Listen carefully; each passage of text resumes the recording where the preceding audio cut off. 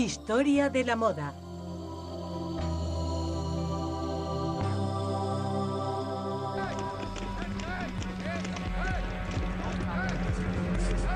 Poder, gloria y superstición. El prestigio de Roma resplandece sobre Occidente. Qué grandes son estos romanos. Conquistadores insaciables, constructores geniales y además son los primeros que elevaron al rango de elegancia la necesidad de vestirse. Con ellos, la sobriedad del trapeado griego se enriquece con el lujo de los países conquistados y la búsqueda de un estilo alcanza una sofisticación hasta entonces inimaginable. Seis siglos de omnipotencia, de circo, de brutalidad, pero también de culto a la belleza, de búsqueda de la elegancia y con una pasión por los pliegues que roza la histeria. Gente amante de los detalles históricos, apasionada por la época de las togas y las estolas o enamorada de las tradiciones antiguas, va a desvelarnos una elegancia eterna y aún muy moderna.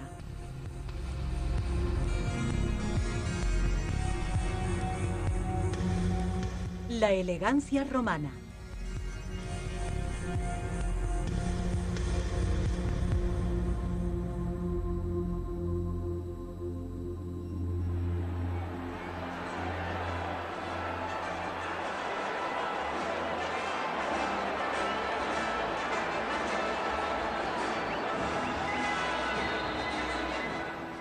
En los tiempos gloriosos de la antigua Roma, el último grito era asistir a los juegos en el circo, pero también el vestirse dignamente para la ocasión.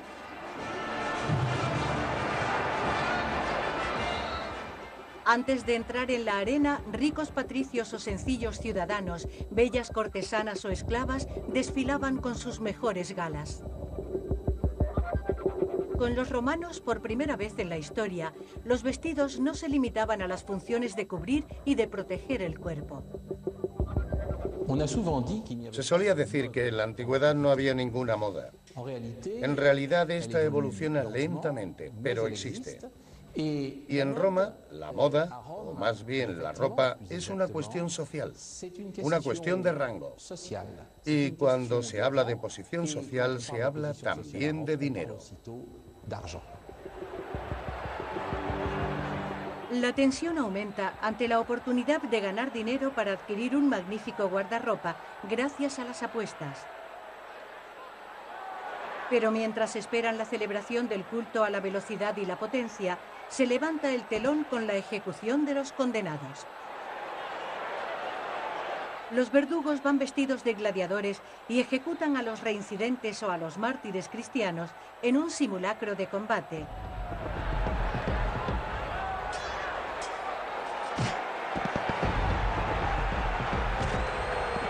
Es cruel, pero al pueblo le encanta.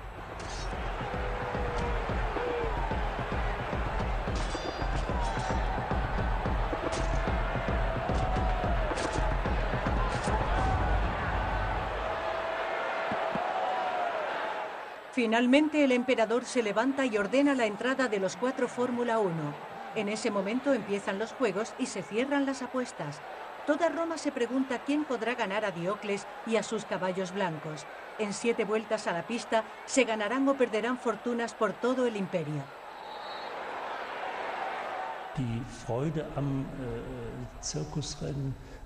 Los romanos sentían una gran fascinación por los juegos del circo.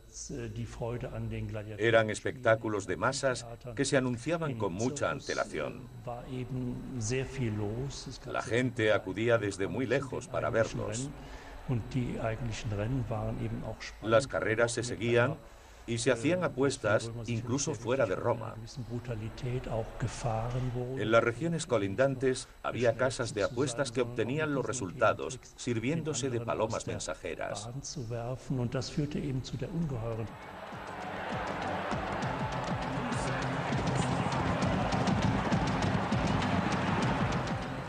La carrera está en marcha. En esta lucha sin piedad a galope tendido, los aurigas, los conductores de las cuadrigas vestidos de verde y de blanco, representan al pueblo. El contendiente de rojo corre por el Senado y el que va de azul lleva el color de la aristocracia. Ya sea en la arena o en la calle, La elección de los colores no es una mera cuestión de gusto personal. Vestirse también es una forma de honrar a los dioses. En las creencias populares, el color blanco está dedicado al culto a Minerva, la diosa de la sabiduría. Vestir de verde es un homenaje a Venus. El rojo sirve para pedir la protección de Marte. Ir de azul honra a Saturno y a Neptuno. Pero cuando el cielo se torna gris oscuro, todo romano teme a la furia de Júpiter.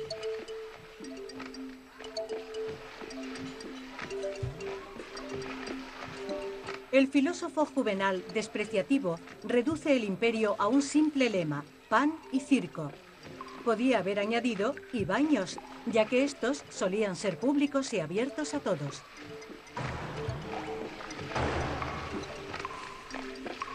Para los patricios, después de haber sudado en las gradas del estadio, gozar del calor sofocante y húmedo de los baños siempre es un momento divino.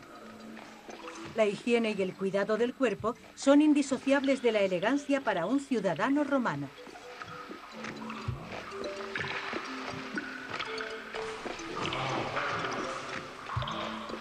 El no va más era bañarse en agua muy caliente, pero la temperatura no estaba a gusto de todos. El poeta Horacio ironiza en sus epístolas sobre esta tendencia al exceso de calor, que le recuerda a un incendio, hasta el extremo de que se podría bañar a un esclavo para castigarlo por una falta.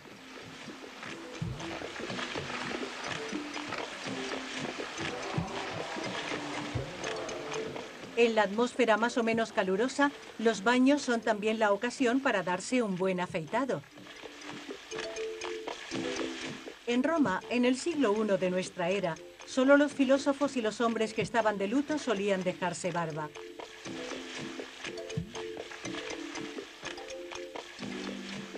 Después de afeitarse, el hombre romano cuidaba el más mínimo detalle ante el espejo.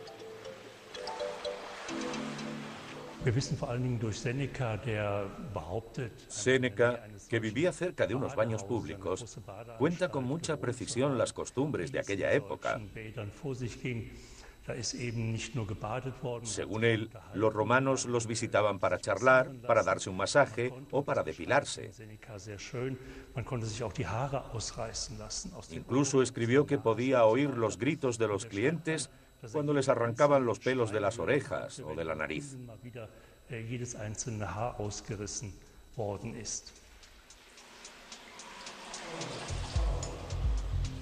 Después del baño llega la hora del peinado, donde también se notan las influencias helénicas. El general Escipión, gran admirador de Atenas, no solo venció a Aníbal y arrasó Cartago, sino que inició la moda del corte al cero. Dos siglos más tarde, con la creación del imperio, los peinados masculinos serán más afectados, ya que el cabello se transforma en una baza de seducción.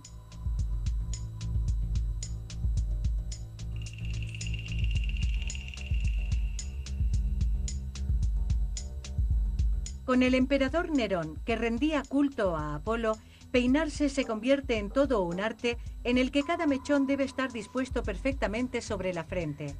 Para reproducir este efecto, los esclavos ya se servían de bigudíes para transformar la cabellera lisa de sus amos en volutas perfectamente organizadas.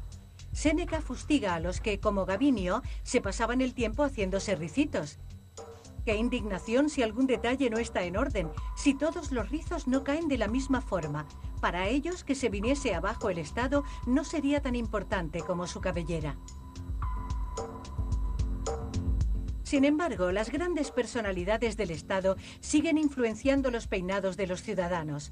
Dos siglos más tarde, el emperador Marco Aurelio pone de moda el pelo crespo en lugar de los rizos.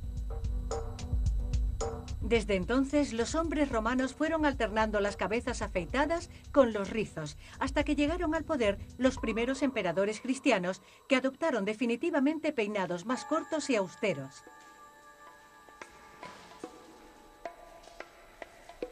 Una vez bañados y peinados, ya sean simples ciudadanos, ricos patricios o emperadores, todos van a vestir una toga, una sencilla pieza de tela. pero las diferentes maneras de colocarla es todo un arte que se convertirá en símbolo de prestigio del imperio. En su origen, la palabra toga significa que cubre y tiene forma rectangular, pero pronto será más redondeada. Cuando aparece la toga es más bien estrecha y ceñida al cuerpo y en latín se llama toga exigua. Pero bajo el reinado de Augusto empieza a ser más grande, ancha y debido a ello es necesario drapearla. Es muy posible que este ensanche del traje nacional se corresponda con la ampliación del imperio romano.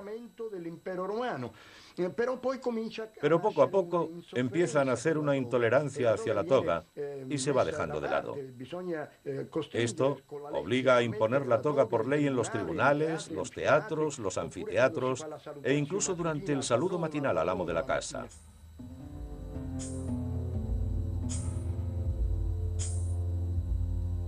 Si en el siglo I de nuestra era, en la época del emperador Augusto, la toga era signo de ciudadanía romana, para un gran orador como Hortensio, esta debía estar a la altura de su talento. Este monumento de tela de 5,60 metros de largo por 2 de alto requiere la ayuda de dos esclavos para colocarlo si no se quiere estar todo el día en ello. Es la ciencia del pliegue perfecto. Muéstrame cómo llevas la toga y te diré quién eres. Para los cronistas romanos, una toga bien colocada sobre el hombro es signo de calma y de autocontrol. Por el contrario, el llevarla mal trapeada es muestra de discordia, de pasión y de moral ligera.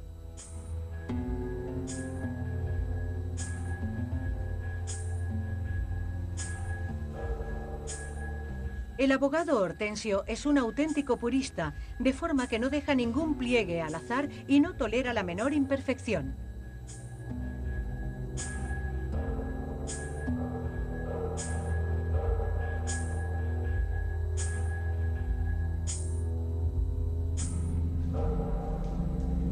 Un día, un colega distraído tropezó con él cuando salía del tribunal. En el choque se descompuso su obra maestra. Furioso, no dudó en exigir una indemnización al culpable.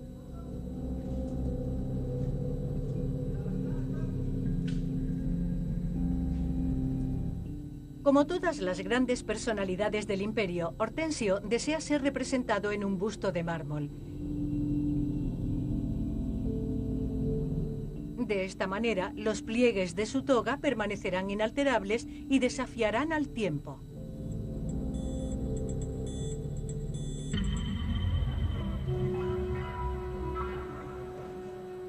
En el taller de reproducciones del Museo del Louvre se mantiene la tradición de hacer moldes por piezas. Esta técnica, usada por los romanos, permitía multiplicar las representaciones de las grandes personalidades y así difundir por todo el imperio sus tendencias en el vestir. Crear una nueva estatua o un busto con esta técnica requiere una gran destreza a los especialistas y mucha paciencia.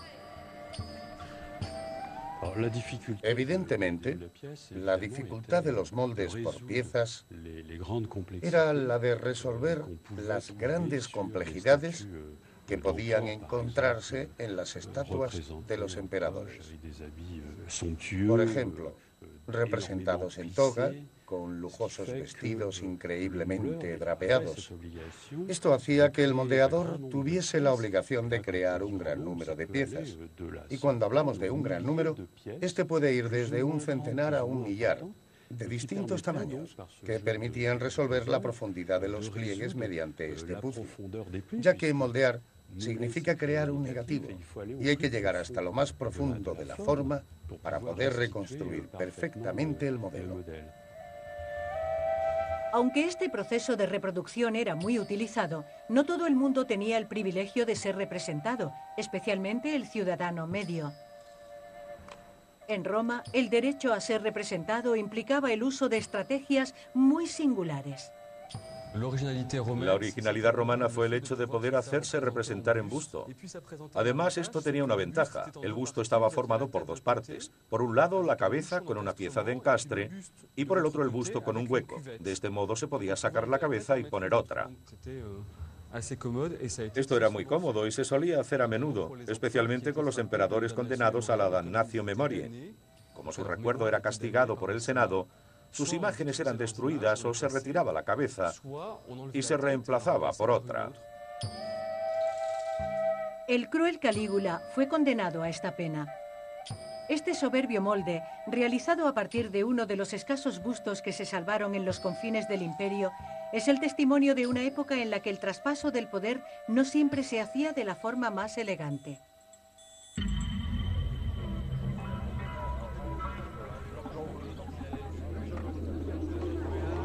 En los mercados romanos, las telas de lana o de lino ofrecen la mejor relación calidad-precio. El algodón proveniente de Egipto aún no está muy extendido. Por otra parte, el cuero y la piel aún no son muy apreciados. El clima suave influye en esta elección.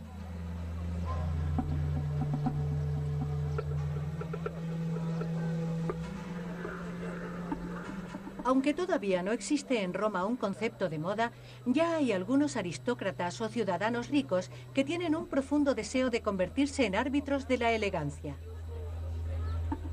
Si hacemos caso a Ovidio, que explica cómo seducir en el arte de amar, el hombre debe brillar por su elegancia sencilla. Debe llevar una toga limpia, debe tener un cabello que no sea hirsuto. Resumiendo, debe brillar por su sencillez. En cambio, el dandy, como Crisógono, es un personaje que cuida su atuendo extremadamente. La toga debe caer de manera impecable. Va perfectamente perfumado y lleva un peinado muy estudiado. Resumiendo, es un personaje que todo el mundo mira y que tiene un aspecto muy excéntrico.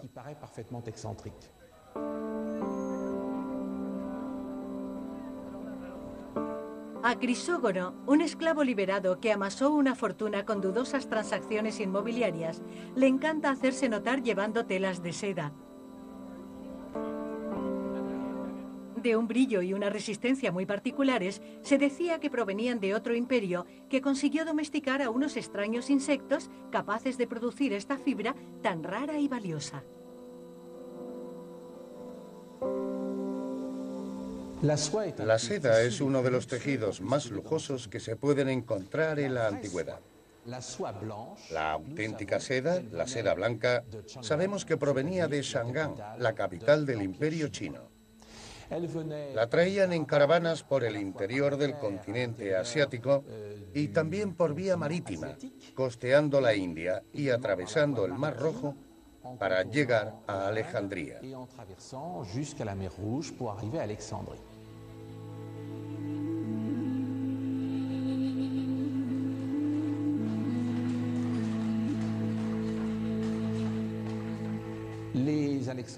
En Alejandría se tejía con lino y se adornaba con algunos bordados, que solían ser en hilo de oro para los más ricos. Al final se obtenía una tela muy cara que evidentemente se disputaban todas las bellas romanas y también algunos romanos importantes.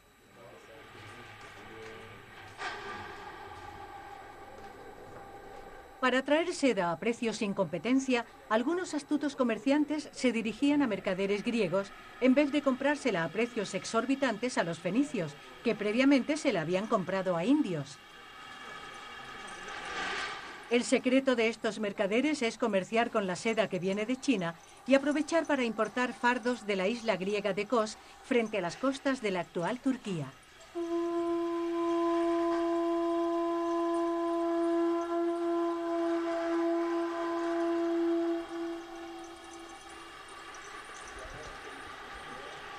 Esta seda es más amarillenta y no toma tan bien el tinte, pero para quien le guste la originalidad del color amarillo pálido, como a Crisógono, es perfecta.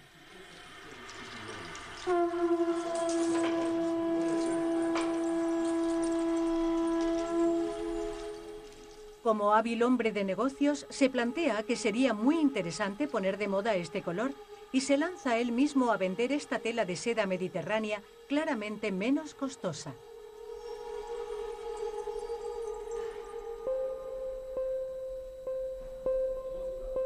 Entonces decide invitar a algunas personalidades a su triclinio para alardear del brillo y la delicadeza de su nuevo conjunto. Para Crisógono, la seducción no tiene precio. Pero este primer gran dandy de la historia será perseguido por sus negocios. Su proceso, dirigido por Cicerón, y su condena le quitarán definitivamente las ganas de llevar prendas de seda.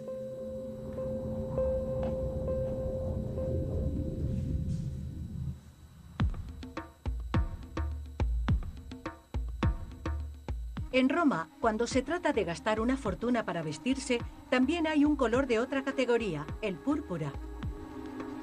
El cronista marcial lo confirma. Engalanarse con él equivaldría a llevar encima toda su fortuna. Lo que le da un toque tan elitista a este color es la rareza de la cañadilla o cañailla, un molusco que se encuentra en los confines del Cuerno de África, en Abisinia.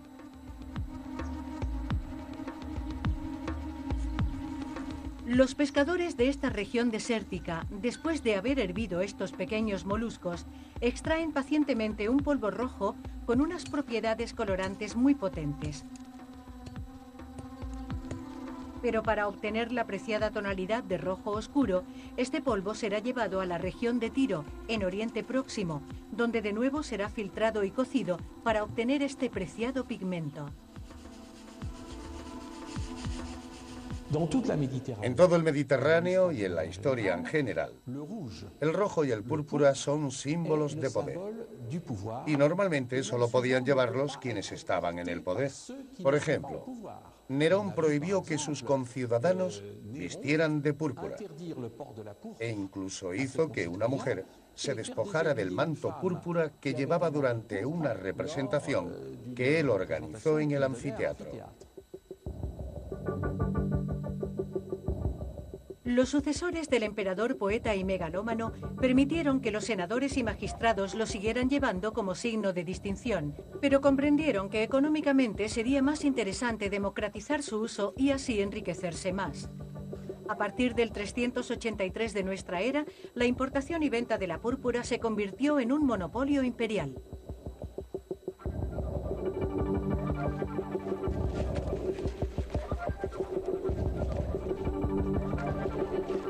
La riqueza de Roma no solo se mide por llevar una banda púrpura sobre la toga, también se demuestra al poseer escuelas de gladiadores. Considerados como productos de lujo, estos prisioneros de guerra o esclavos son objeto de grandes transacciones económicas.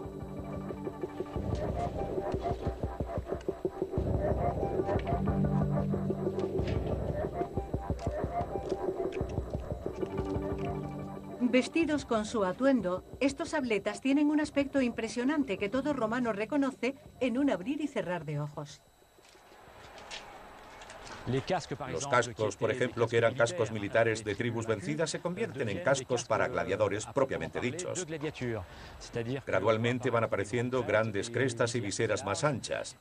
Y finalmente asistimos a unos combates parecidos a los actuales de lucha, con gladiadores completamente cubiertos, que le dan una dimensión espectacular, extraordinaria a los combates de gladiadores.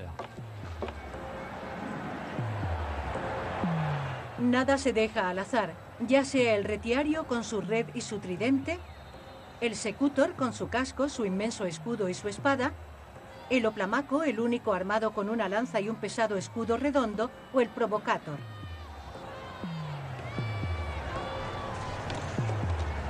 Todo está calculado para crear un equilibrio entre los combatientes. El armamento y las protecciones presentan tanto ventajas como inconvenientes.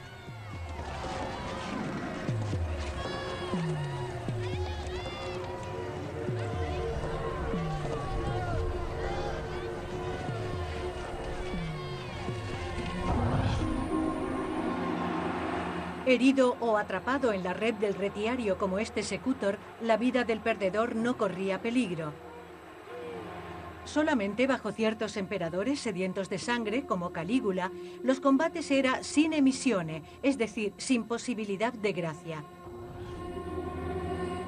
De este modo, algunos gladiadores no solo tenían unas carreras de auténticas estrellas, sino que servían de modelo a otros combatientes, los legionarios.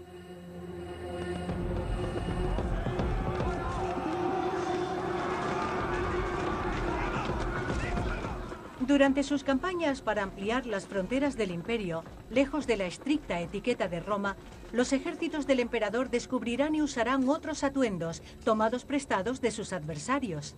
De este modo, popularizarán nuevas modas antes consideradas bárbaras por los ciudadanos romanos. La particularidad del imperio romano es que no es Roma la que se va a imponer en otros lugares, es todo el imperio el que llega a Roma. En cualquier sentido, ya sea la cocina, las costumbres, los dioses y evidentemente el arte del vestir.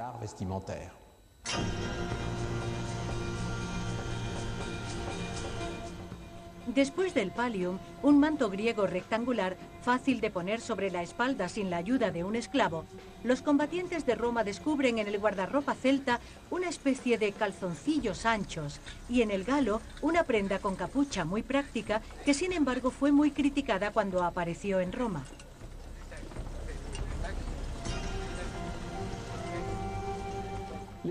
Los romanos tomarán prestados de sus vecinos y de los pueblos que han conquistado cierto número de prendas. Por ejemplo, el cuculus, una prenda gala muy rústica, que según Marcial solo servía para vestir a un mono. Esta prenda se hará más alargada y en un momento dará lugar al sayal con capucha que llevan los monjes.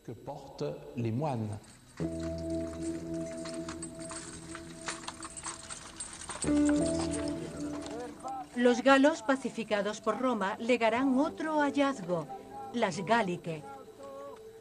Estas sandalias, que cubren el tobillo y son muy resistentes, permitirán a los conquistadores romanos recorrer a pie una media de 45 kilómetros diarios. Este elemento básico del atuendo de los legionarios romanos aún hoy podría ser un objeto indispensable para ir a la conquista de una pequeña ciudad a orillas del Mediterráneo.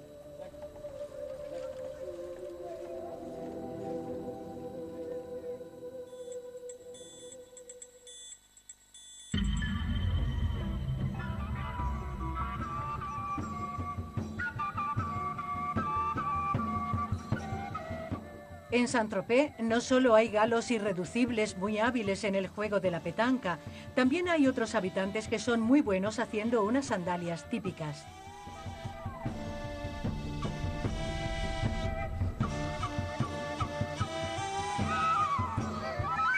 A dos pasos del puerto, el taller de Alain Rondini es uno de los lugares en los que nació esta tradición hace 80 años, casi por casualidad.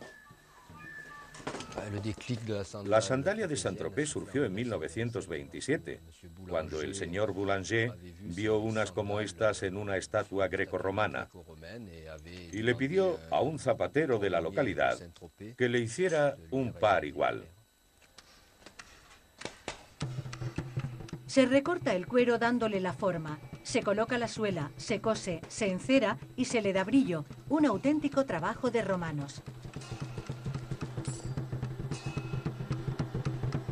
Pero el aspecto artesanal no está reñido con la sofisticación estética. Aparte de las famosas sandalias clásicas de Saint-Tropez de estilo legionario, Alain Rondini asegura que se inspira, como en los tiempos del esplendor de Roma, en formas de la antigua Grecia, de Egipto e incluso de Mesopotamia. Lo que le daba solidez a las sandalias romanas, como las que hacemos ahora, era el curtido. Para ello sumergían la piel durante meses en piletas con corteza de roble, con lo que el cuero se hacía muy resistente. Seguidamente se procedía al golpeo, es decir, que martilleaban el cuero mojado para darle más robustez. Si los romanos, fascinados por cualquier tipo de calzado, tenían 80 términos diferentes para designar a los zapatos, actualmente las sandalias espartanas, las de estilo Salomé y las de Saint-Tropez se venden en más de 10 países.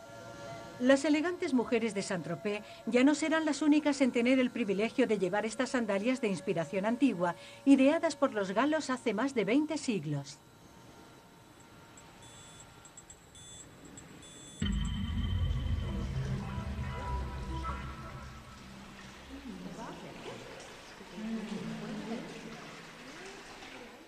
En el siglo I de nuestra era, las ricas patricias van con mucha asiduidad a las termas para parecer elegantes de la cabeza a los pies. Después del baño les encanta aplicarse tratamientos de belleza y lociones elaboradas con aceites esenciales.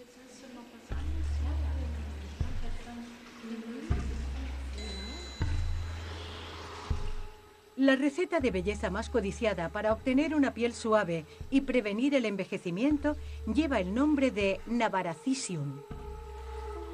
Esta loción es un preparado de influencia india que aún hoy podemos encontrar con el nombre de Navarakisi.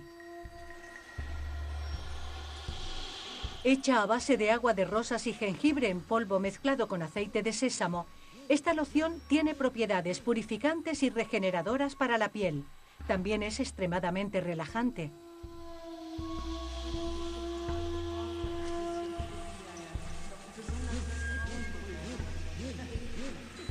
Ovidio sucumbió a los encantos de este primer producto de belleza. Afirmó, toda mujer que se aplique este cosmético sobre su rostro lo hará más hermoso y más brillante que su propio espejo.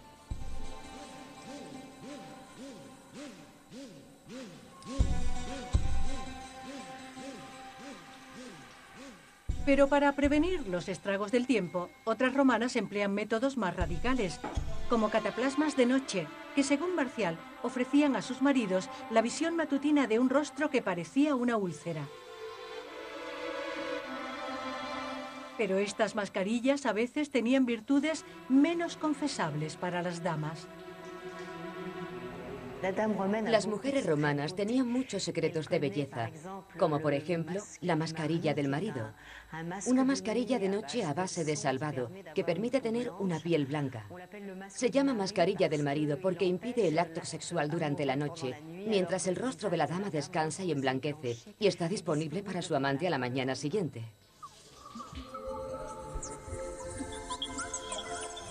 Las patricias seductoras o las matronas que quieren seguir seduciendo pasan una buena parte de la mañana preparándose en sus villas.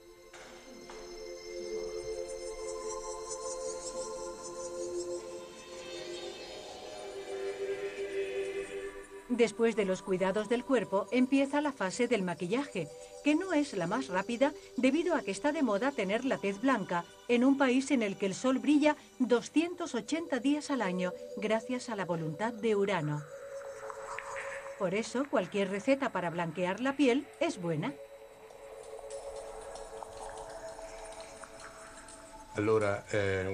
Al principio, las mujeres utilizaban mascarillas de belleza hechas a base de habas y después a base de leche de burra.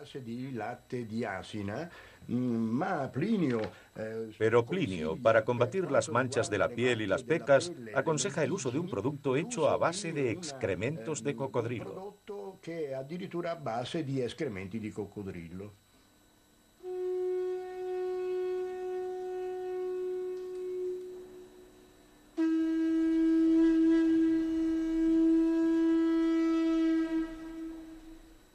Cuando se trata de remarcar la mirada, predomina la inspiración egipcia.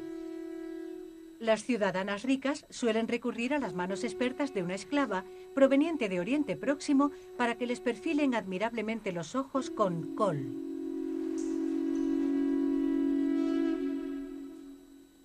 Aunque la mujer romana tiene puntos en común con la egipcia en el uso de productos de belleza, las virtudes del maquillaje son muy diferentes entre las dos civilizaciones. La influencia egipcia se manifiesta en el hecho de maquillarse, de aplicarse cosméticos en la cara.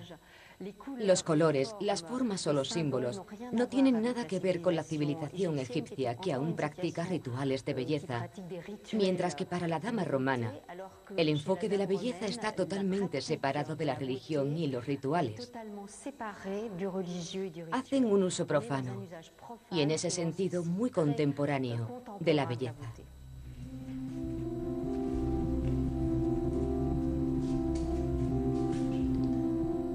Con un toque de mujer fatal, la Patricia romana, antes de pasar a peinarse, no puede evitar pensar en los adornos que acompañarán a su fantástico vestido.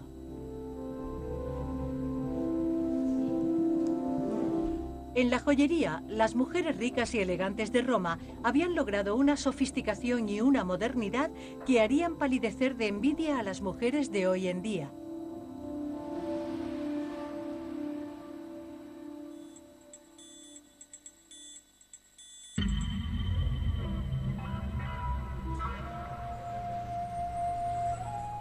Bajo el cielo de Treveris aún se encuentran bellos restos del Imperio Romano.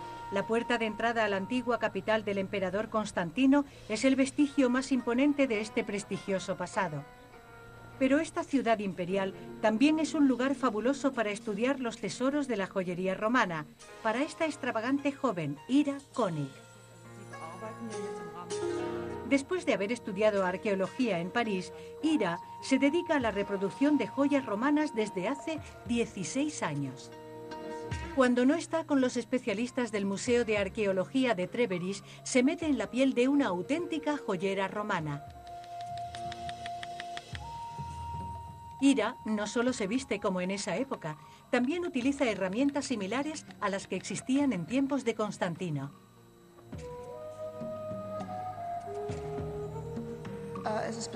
Es importante utilizar herramientas originales porque dejan unas marcas particulares en las joyas y además esto es lo que permite probar su autenticidad. Con herramientas modernas me parece imposible obtener el mismo resultado. Por eso le pido a unos joyeros que me fabriquen unas herramientas a partir de piezas originales con el mismo material. De este modo puedo ver si es posible realizar con ellas una joya auténtica. Ira es una experta en la fabricación de anillos y como hacían 2000 años atrás, tiene propuestas de anillos de invierno, que son más pesados, y de verano, que son más ligeros. Pero no le falta paciencia ni destreza cuando se trata de realizar collares o pendientes, y esta habilidad puede ser muy útil para los historiadores. Suelen venir a verme restauradores y jóvenes arqueólogos. Me preguntan por una pieza original que ha sido hallada y también por la manera en que fue realizada. Todos saben que tengo una gran experiencia en este campo y quieren saber si puedo confirmar su teoría sobre el método de fabricación del objeto. A Ira Koenig le encanta compartir sus conocimientos. El hecho de descubrir, comparar y analizar los tesoros de Treveris también le permite perfeccionar sus técnicas de trabajo para poder recrear copias que bien podrían haberse hallado en el joyero de una emperatriz.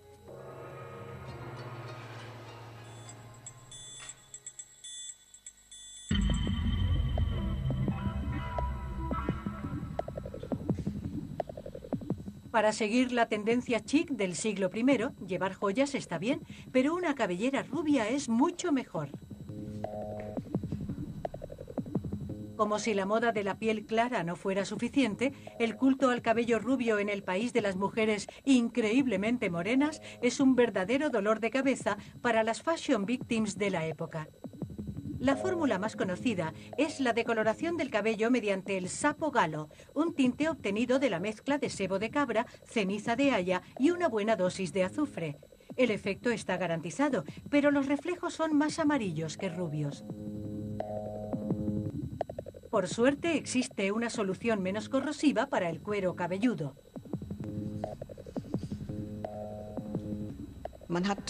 En la época romana, no dudaban en utilizar pelucas y postizos para variar de peinado o para tener reflejos de diferentes colores.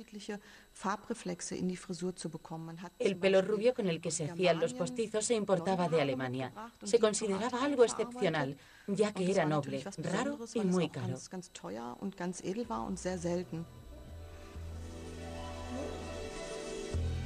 Si algunas morenas se negaban a arruinarse con los postizos, para mantener su rango debían ir peinadas a la última moda, y esta solía ser dictada por la emperatriz.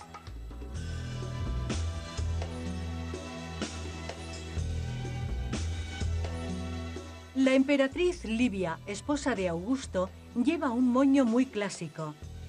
La emperatriz Plotina pone de moda un exceso de rizos y bucles que agrandan la cabeza de la mujer.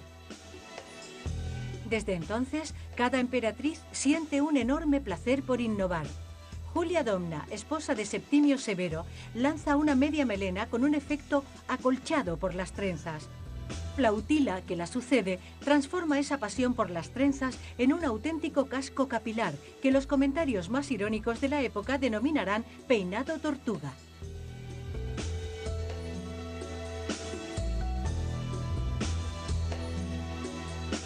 Para crear estas obras maestras capilares, las ornatrix, unas esclavas especializadas en peinados, deben demostrar una gran precisión para satisfacer el veredicto del espejo. Una sola mecha fuera de lugar o una horquilla mal ajustada y la esclava puede verse relegada a la cocina.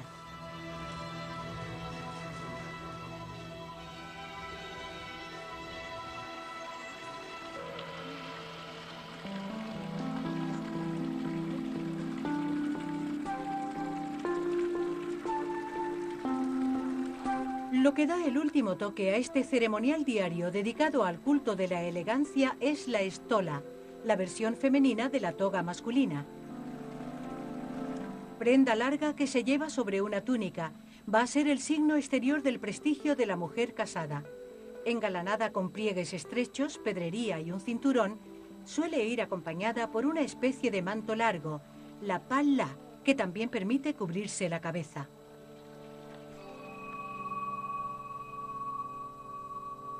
Una prenda primordial es el strofun, que asegura a la mujer romana una silueta perfecta y se lleva desde por la mañana.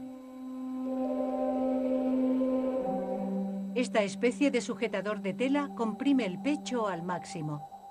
Por miedo a tenerlo demasiado grande, las aristócratas ya no tienen nada de la loba romana y evitan amamantar a su prole a toda costa. Entre las jóvenes, la preocupación por una silueta filiforme tiene un cariz sorprendentemente actual. A veces, a las jóvenes las privan de alimentos, les dan vinagre y les aprietan la cintura. Incluso se dan casos de anorexia, o al menos de gran delgadez, que sirve para encontrar un marido más rápidamente, ya que la delgadez y la palidez están asociadas al erotismo. Estos fantásticos mosaicos sicilianos atestiguan que las mujeres romanas hacen gala de una coquetería muy moderna.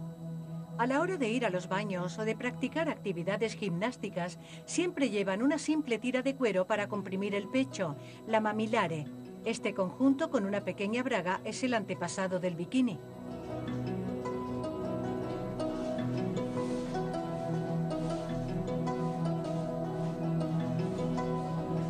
Después de vestir la túnica, la estala y de haberse colocado la palla, solo queda calzarse. Al tener un rango social y querer distinguirse, ya no está bien visto llevar unas simples sandalias. Deben llevar zapatos, calcei, que cubren los dedos, considerados antiestéticos. Finalmente, estas mujeres soberbiamente vestidas pueden salir de sus villas y su aspecto no dejará indiferente a ningún hombre.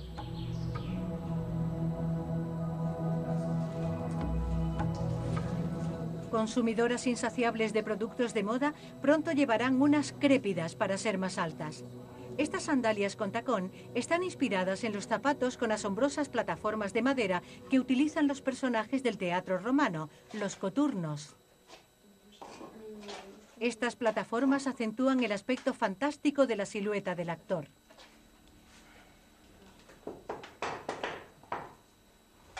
El teatro romano es ante todo visual. El texto tenderá a desaparecer y el espectador va a ir a ver al actor. Esa silueta que reconoce por su máscara, su maquillaje, el color de su traje, sus coturnos, por la posición de su cuerpo bajo esas ropas, es la que le transmite un sentimiento. La manera en la que caen los pliegues del manto puede expresar alegría o tristeza. Y seguirá la historia básicamente como nosotros seguimos a un mimo.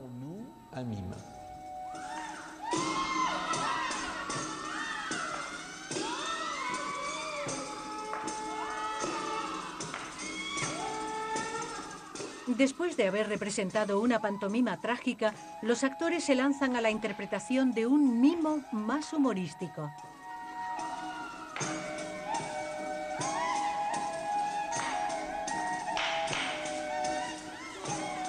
Aprovechando que esta representación nocturna se desarrolla ante un pequeño público, la comedia toma un aire muy impúdico. Con el tiempo se pierde el rigor clásico inspirado por el repertorio griego y el teatro, como el resto de la sociedad romana, entra en decadencia.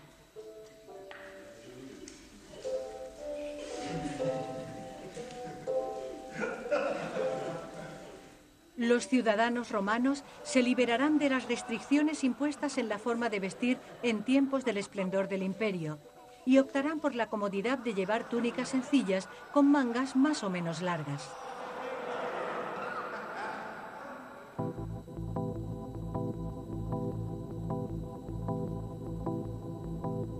Pero la toga y la estola habían dejado su huella en la historia de la moda para siempre.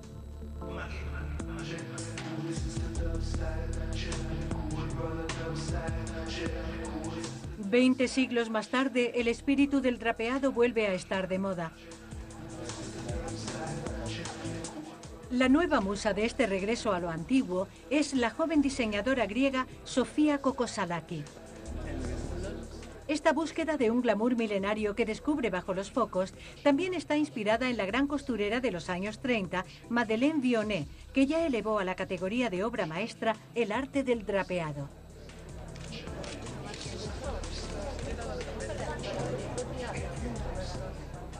Um, para un diseñador es una suerte poder trabajar a partir de la herencia de Bionet, porque ella inventó muchas cosas y puedes utilizarlas.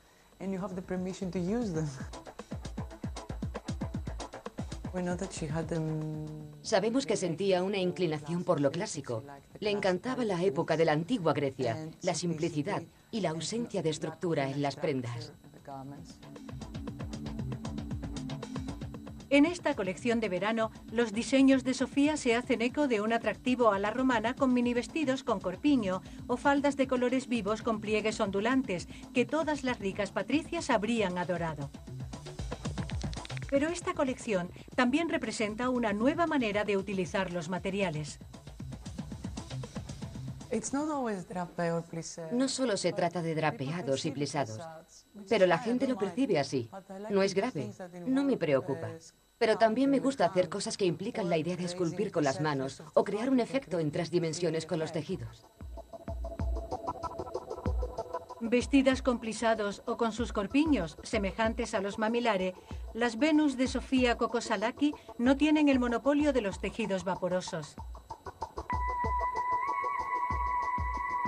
Con el diseñador australiano muy parisino Martin Grant, las mujeres se convierten en seductoras vestales con un estilo informal y nada almidonado. Creo que siempre hay alguna referencia a la antigüedad. Los griegos seguían el mismo principio. La idea es que con un trozo de tela y un cordel se pueden crear volúmenes muy interesantes que son tan favorecedores como cualquier prenda ceñida al cuerpo. Sencillamente es otra forma de trabajar el volumen. Espalda desnuda, pliegues origami vistiendo el busto con seda púrpura. A este antiguo escultor le encanta el reto de la sencillez. Auténtico arquitecto de la silueta, prefiere esbozar la proporción de un vistazo más que atraer las miradas con detalles fútiles. Desde las diosas esculturales a las náyades marciales, todas son la viva imagen de la definición actual de elegante que da el diccionario. Dotado de gracia, nobleza y sencillez. que tiene buen gusto y distinción para vestir.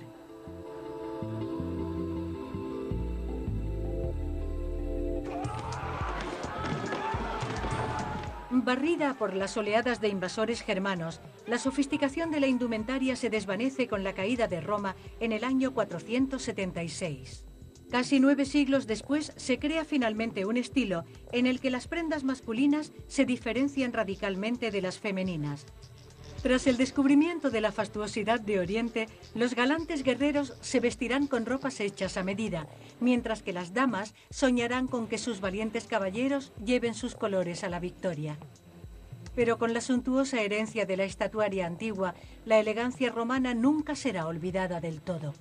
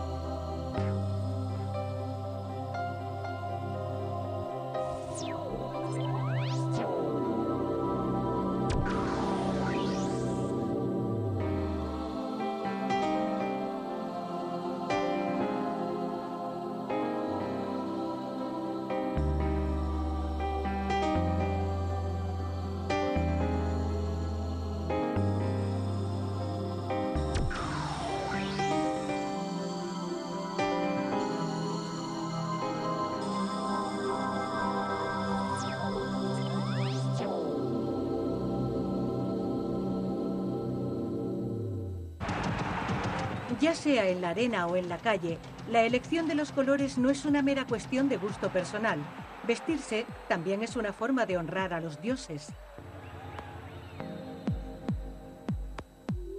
En las creencias populares, el color blanco está dedicado al culto a Minerva, la diosa de la sabiduría. Vestir de verde es un homenaje a Venus. El rojo sirve para pedir la protección de Marte. Ir de azul honra a Saturno y a Neptuno. Pero cuando el cielo se torna gris oscuro, todo romano teme a la furia de Júpiter.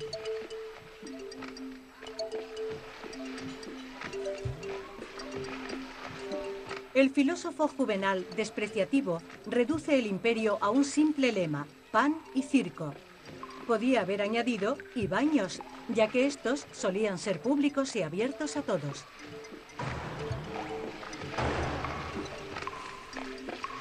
Para los patricios, después de haber sudado en las gradas del estadio, gozar del calor sofocante y húmedo de los baños siempre es un momento divino. La higiene y el cuidado del cuerpo son indisociables de la elegancia para un ciudadano romano.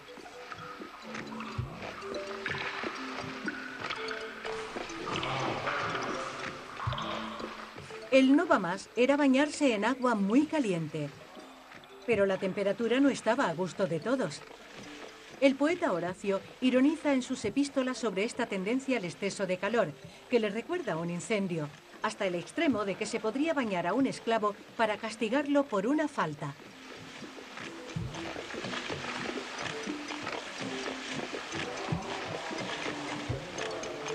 En la atmósfera más o menos calurosa, los baños son también la ocasión para darse un buen afeitado. En Roma, en el siglo I de nuestra era, solo los filósofos y los hombres que estaban de luto solían dejarse barba.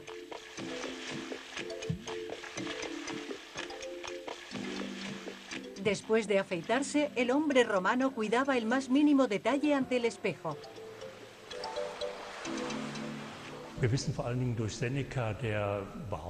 Séneca, que vivía cerca de unos baños públicos, cuenta con mucha precisión las costumbres de aquella época. Según él, los romanos los visitaban para charlar, para darse un masaje o para depilarse. Incluso escribió que podía oír los gritos de los clientes cuando les arrancaban los pelos de las orejas o de la nariz.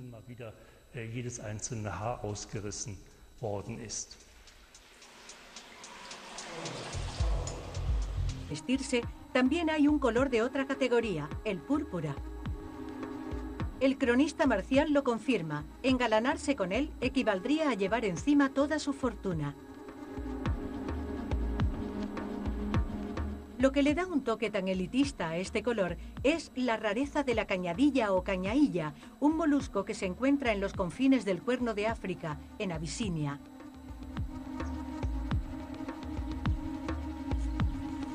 Los pescadores de esta región desértica, después de haber hervido estos pequeños moluscos, extraen pacientemente un polvo rojo con unas propiedades colorantes muy potentes. Pero para obtener la apreciada tonalidad de rojo oscuro, este polvo será llevado a la región de Tiro, en Oriente Próximo, donde de nuevo será filtrado y cocido para obtener este preciado pigmento. En todo el Mediterráneo y en la historia en general, el rojo y el púrpura son símbolos de poder. Y normalmente solo podían llevarlos quienes estaban en el poder. Por ejemplo, Nerón prohibió que sus conciudadanos vistieran de púrpura e incluso hizo que una mujer se despojara del manto púrpura que llevaba durante una representación que él organizó en el anfiteatro. Los sucesores del emperador poeta y megalómano permitieron que los senadores y magistrados lo siguieran llevando como signo de distinción, pero comprendieron que económicamente sería más interesante democratizar su uso y así enriquecerse más. A partir del 383 de nuestra era, la importación y venta de la púrpura se convirtió en un monopolio imperial.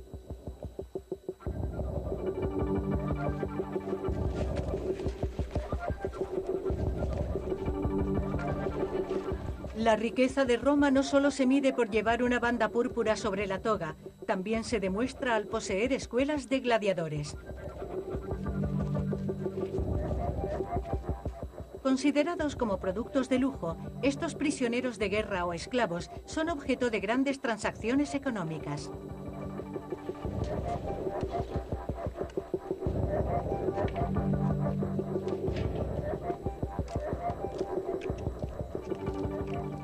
Vestidos con su atuendo, estos atletas tienen un aspecto impresionante que todo romano reconoce en un abrir y cerrar de ojos. Los cascos, por ejemplo, que eran cascos militares de tribus vencidas, se convierten en cascos para gladiadores propiamente dichos. Gradualmente van apareciendo grandes crestas y viseras más anchas. Y finalmente asistimos a unos combates parecidos a los actuales de lucha, con gladiadores completamente cubiertos. Furioso, no dudó en exigir una indemnización al culpable.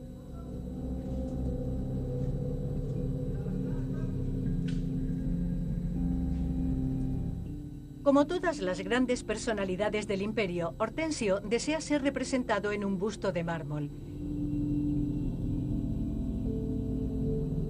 De esta manera, los pliegues de su toga permanecerán inalterables y desafiarán al tiempo.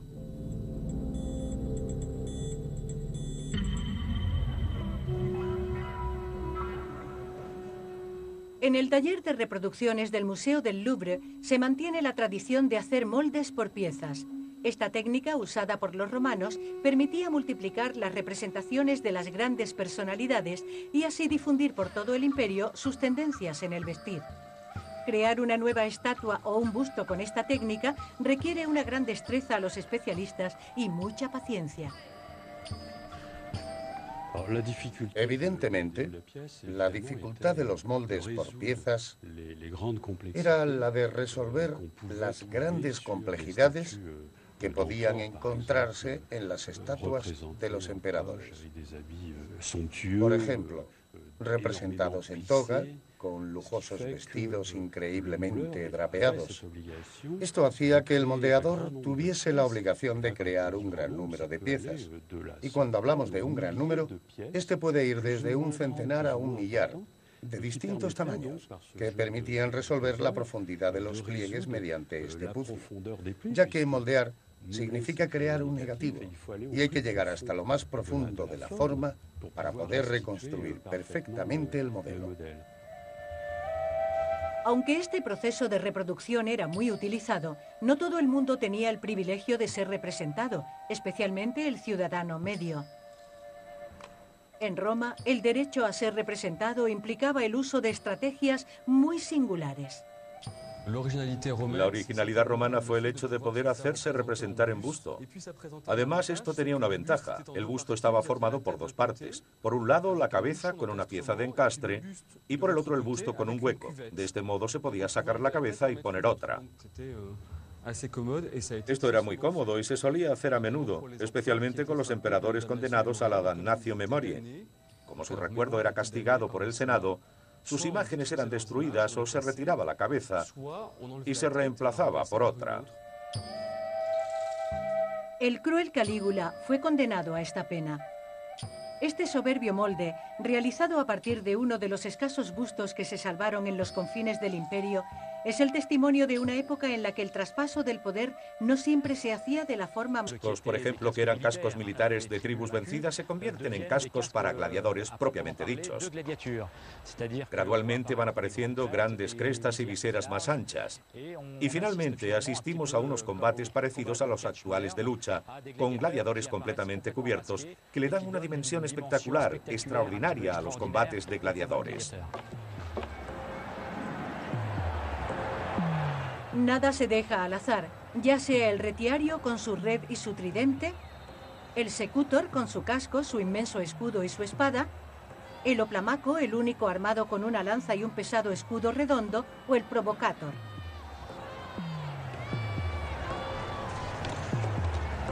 Todo está calculado para crear un equilibrio entre los combatientes. El armamento y las protecciones presentan tanto ventajas como inconvenientes.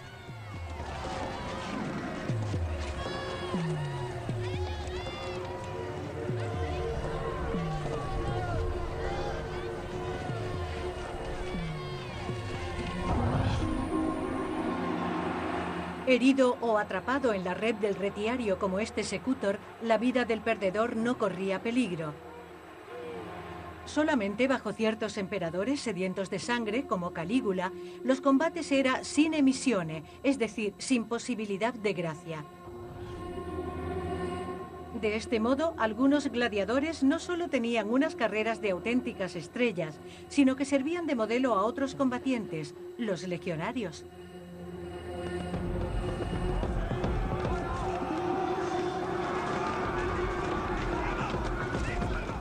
Durante sus campañas para ampliar las fronteras del imperio, lejos de la estricta etiqueta de Roma, los ejércitos del emperador descubrirán y usarán otros atuendos tomados prestados de sus adversarios.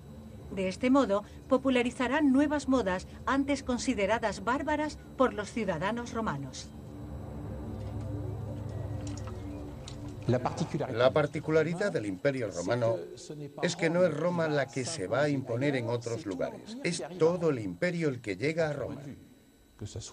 En cualquier sentido, ya sea la cocina, las costumbres, los dioses y evidentemente el arte del vestir.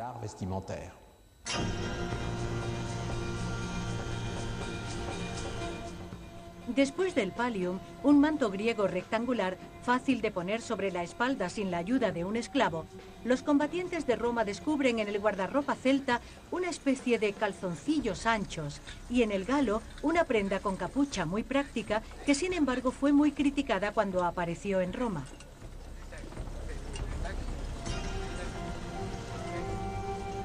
Los romanos tomarán prestados de sus vecinos y de los daban todas las bellas romanas y también algunos romanos importantes.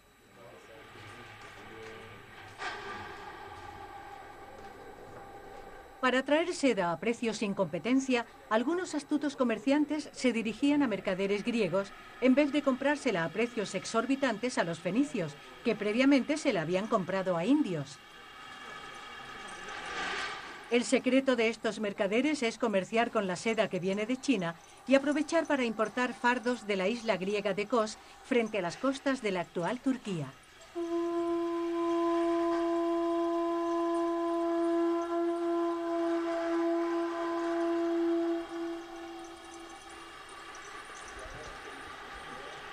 Esta seda es más amarillenta y no toma tan bien el tinte, pero para quien le guste la originalidad del color amarillo pálido, como a crisógono, es perfecta.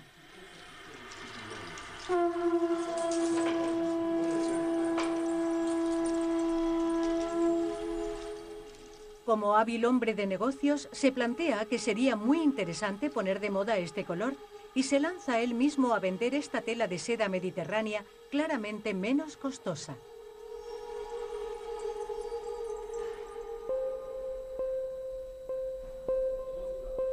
Entonces decide invitar a algunas personalidades a su triclinio para alardear del brillo y la delicadeza de su nuevo conjunto. Para Crisógono, la seducción no tiene precio. Pero este primer gran dandy de la historia será perseguido por sus negocios. Su proceso, dirigido por Cicerón, y su condena le quitarán definitivamente las ganas de llevar prendas de seda.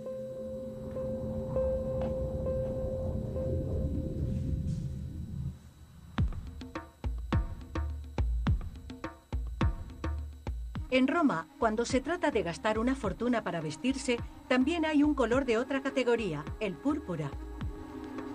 El cronista marcial lo confirma. Engalanarse con él equivaldría a llevar encima toda su fortuna. Lo que le da un toque tan elitista a este color es la rareza de la cañadilla o cañailla, un molusco que se encuentra en los confines del Cuerno de África, en Abisinia.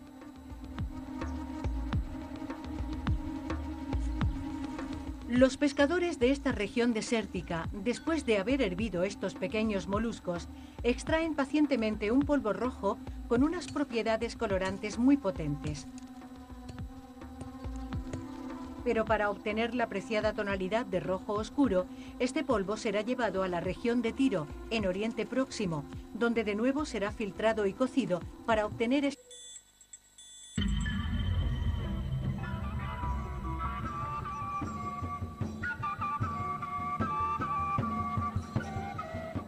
En Saint-Tropez no solo hay galos irreducibles muy hábiles en el juego de la petanca, también hay otros habitantes que son muy buenos haciendo unas sandalias típicas.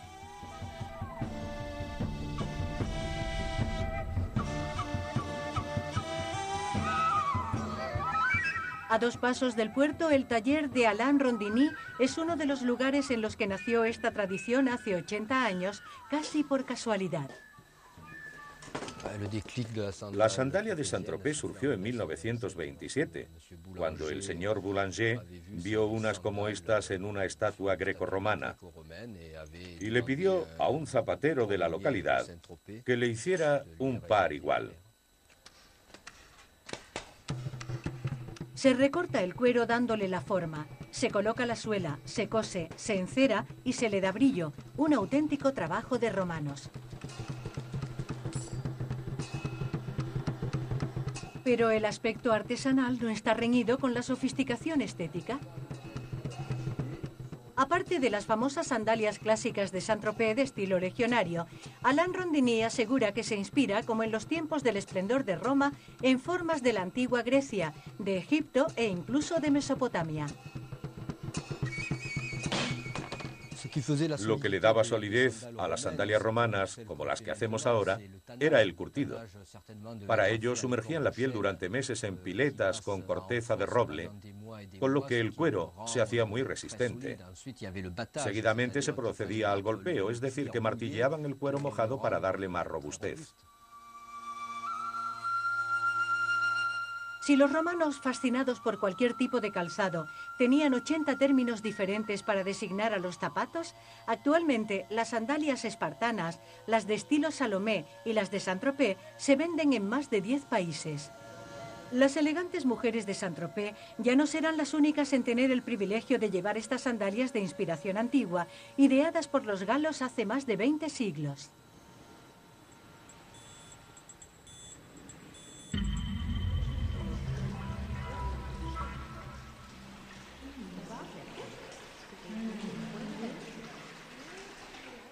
En el siglo I de nuestra era, las ricas patricias van con mucha asiduidad a las termas para parecer elegantes de la cabeza a los pies.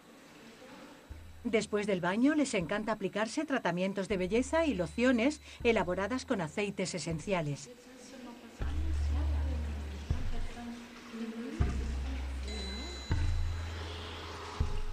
La receta... Fría se tejía con lino y se adornaba con algunos bordados, que solían ser en hilo de oro para los más ricos. Al final se obtenía una tela muy cara que evidentemente se disputaban todas las bellas romanas y también algunos romanos importantes.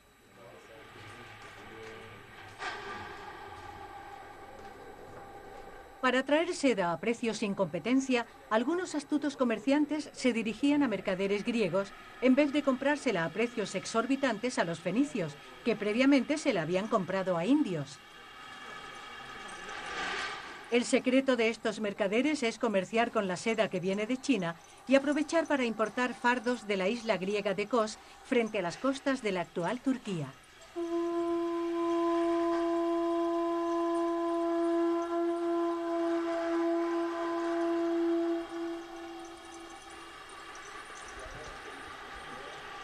Esta seda es más amarillenta y no toma tan bien el tinte, pero para quien le guste la originalidad del color amarillo pálido, como a Crisógono, es perfecta.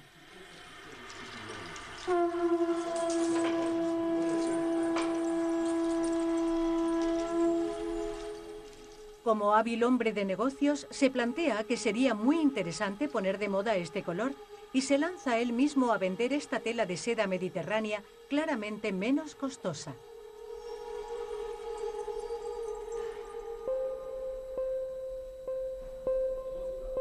Entonces decide invitar a algunas personalidades a su triclinio para alardear del brillo y la delicadeza de su nuevo conjunto. Para Crisógono, la seducción no tiene precio. Pero este primer gran dandy de la historia será perseguido por sus negocios. Su proceso, dirigido por Cicerón, y su condena le quitarán definitivamente las ganas de llevar prendas de seda.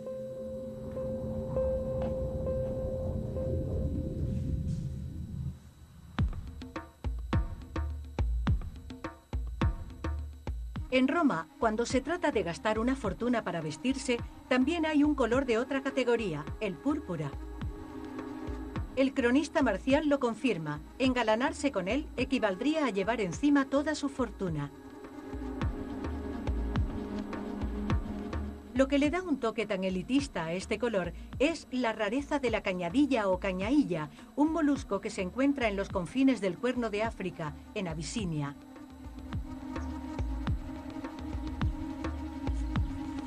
Los pescadores de esta región desértica, después de haber hervido estos pequeños moluscos, extraen pacientemente un polvo rojo con unas propiedades colorantes muy...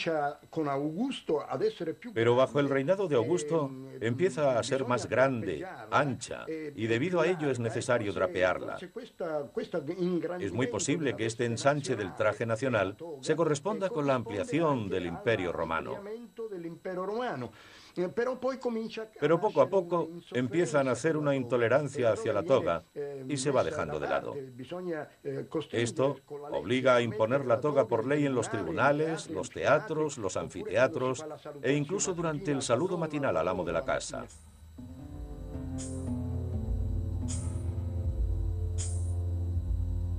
Si en el siglo I de nuestra era, en la época del emperador Augusto, la toga era signo de ciudadanía romana, para un gran orador como Hortensio, esta debía estar a la altura de su talento. Este monumento de tela de 5,60 metros de largo por 2 de alto requiere la ayuda de dos esclavos para colocarlo si no se quiere estar todo el día en ello. Es la ciencia del pliegue perfecto. Muéstrame cómo llevas la toga y te diré quién eres.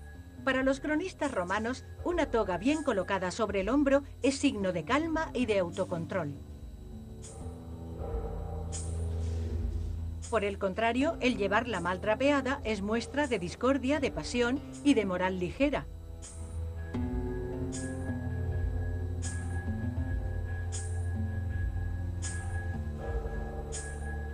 El abogado Hortensio es un auténtico purista, de forma que no deja ningún pliegue al azar y no tolera la menor imperfección.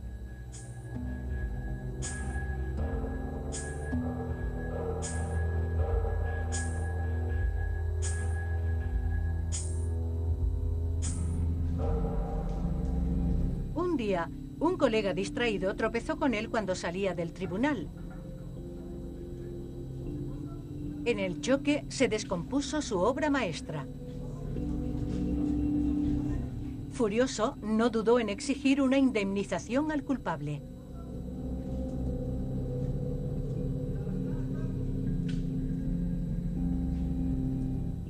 Como todas las grandes personalidades del imperio, Hortensio desea ser representado en un busto de mármol. De esta manera, los pliegues de su toga permanecerán inalterables y desafiarán al tiempo.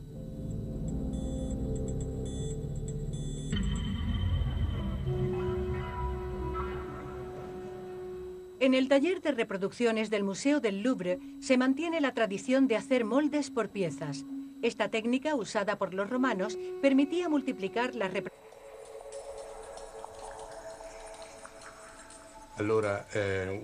Al principio, las mujeres utilizaban mascarillas de belleza hechas a base de habas y después a base de leche de burra. Mm, eh, Pero Plinio, para combatir las manchas de la piel y las pecas, aconseja el uso de un producto hecho a base de excrementos de cocodrilo.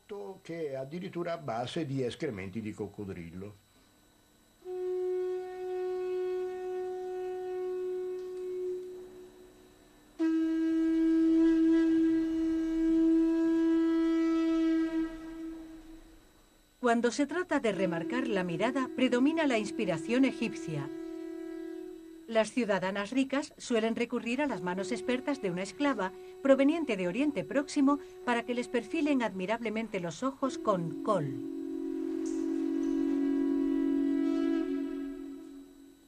Aunque la mujer romana tiene puntos en común con la egipcia en el uso de productos de belleza, las virtudes del maquillaje son muy diferentes entre las dos civilizaciones. La influencia egipcia se manifiesta en el hecho de maquillarse, de aplicarse cosméticos en la cara. Los colores, las formas o los símbolos no tienen nada que ver con la civilización egipcia que aún practica rituales de belleza, mientras que para la dama romana el enfoque de la belleza está totalmente separado de la religión y los rituales. Hacen un uso profano y en ese sentido muy contemporáneo de la belleza.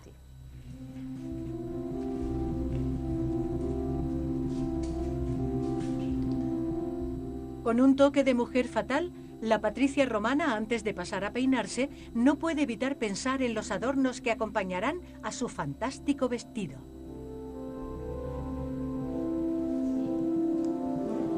En la joyería, las mujeres ricas y elegantes de Roma habían logrado una sofisticación y una modernidad que harían palidecer de envidia a las mujeres de hoy en día.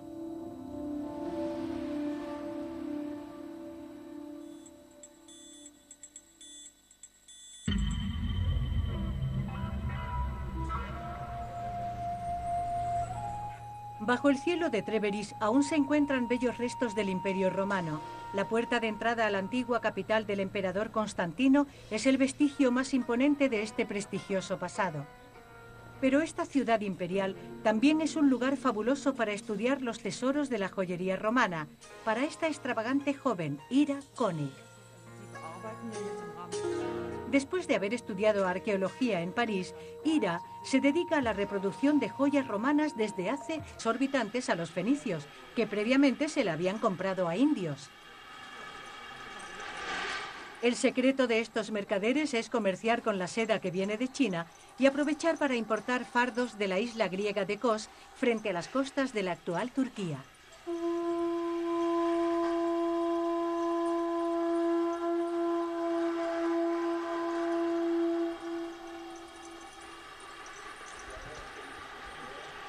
Esta seda es más amarillenta y no toma tan bien el tinte, pero para quien le guste la originalidad del color amarillo pálido, como a crisógono, es perfecta.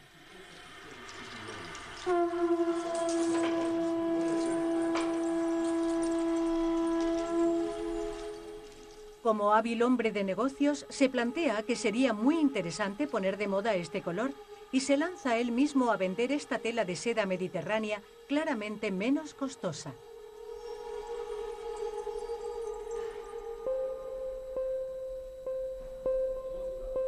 Entonces decide invitar a algunas personalidades a su triclinio para alardear del brillo y la delicadeza de su nuevo conjunto. Para Crisógono, la seducción no tiene precio. Pero este primer gran dandy de la historia será perseguido por sus negocios. Su proceso, dirigido por Cicerón, y su condena le quitarán definitivamente las ganas de llevar prendas de seda.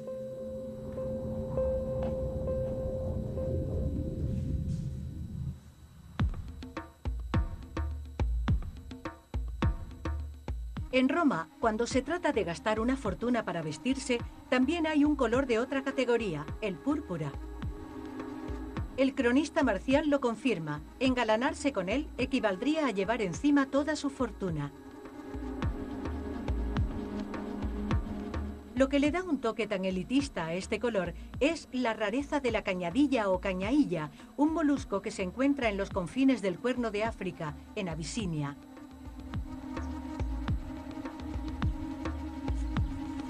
Los pescadores de esta región desértica, después de haber hervido estos pequeños moluscos, extraen pacientemente un polvo rojo con unas propiedades colorantes muy potentes.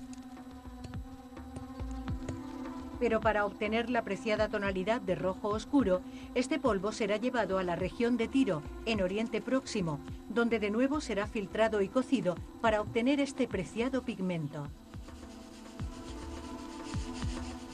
En todo el Mediterráneo y en la historia en general, el rojo y el púrpura son símbolos de poder.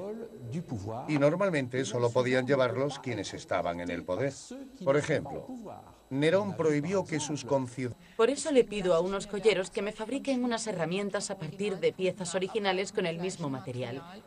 De este modo puedo ver si es posible realizar con ellas una joya auténtica. Ira es una experta en la fabricación de anillos y como hacían 2000 años atrás, tiene propuestas de anillos de invierno, que son más pesados, y de verano, que son más ligeros. Pero no le falta paciencia ni destreza cuando se trata de realizar collares o pendientes, y esta habilidad puede ser muy útil para los historiadores. Suelen venir a verme restauradores y jóvenes arqueólogos. Me preguntan por una pieza original que ha sido hallada y también por la manera en que fue realizada. Todos saben que tengo una gran experiencia en este campo y quieren saber si puedo confirmar su teoría sobre el método de fabricación del objeto. A Ira Koenig le encanta compartir sus conocimientos. El hecho de descubrir, comparar y analizar los tesoros de Treveris también le permite perfeccionar sus técnicas de trabajo para poder recrear copias que bien podrían haberse hallado en el joyero de una emperatriz.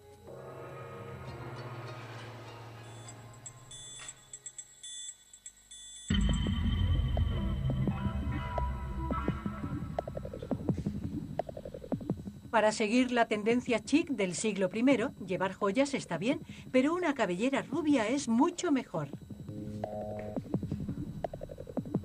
Como si la moda de la piel clara no fuera suficiente, el culto al cabello rubio en el país de las mujeres increíblemente morenas es un verdadero dolor de cabeza para las fashion victims de la época.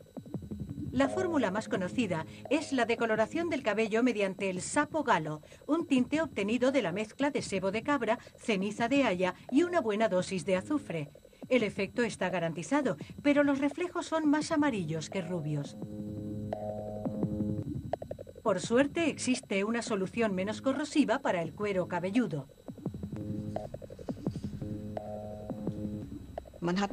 En la época romana, no dudaban en utilizar pelucas y postizos para variar de peinado o para tener reflejos de diferentes colores. El pelo rubio con el que se hacían los postizos se importaba de Alemania. Se consideraba algo excepcional, ya que era noble, raro y muy caro.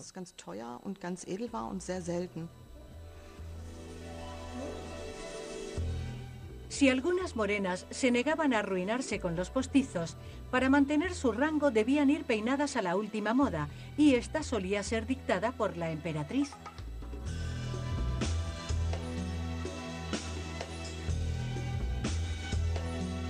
La emperatriz Lip... Que explica cómo seducir en El arte de amar El hombre debe brillar por su elegancia sencilla.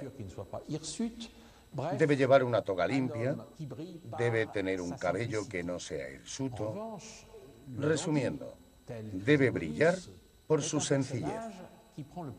En cambio, el dandy, como Crisógono, es un personaje que cuida su atuendo extremadamente. La toga debe caer de manera impecable. Va perfectamente perfumado y lleva un peinado muy estudiado. Resumiendo, es un personaje que todo el mundo mira y que tiene un aspecto muy excéntrico.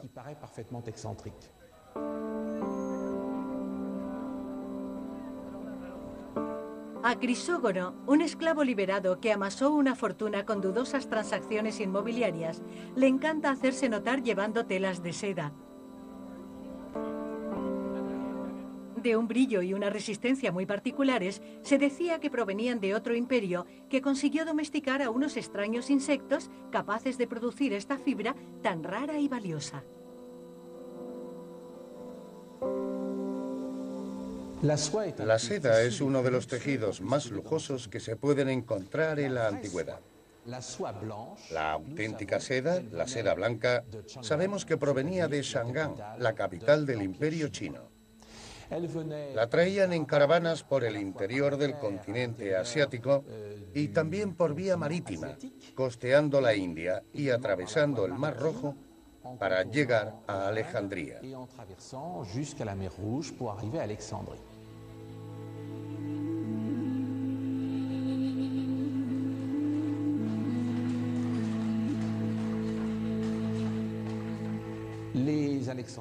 En Alejandría se tejía con lino y se adornaba con algunos bordados, que solían ser en hilo de oro para los más ricos. Al final se obtenía una tela muy cara que evidentemente se disputaban todas las bellas romanas y también algunos romanos importantes.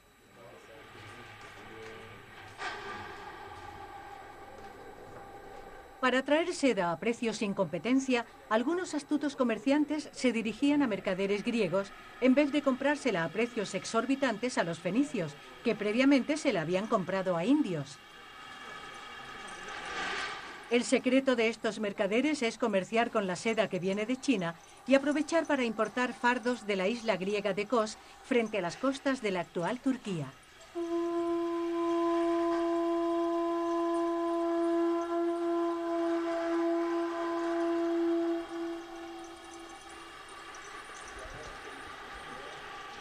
Esta seda es más amarillenta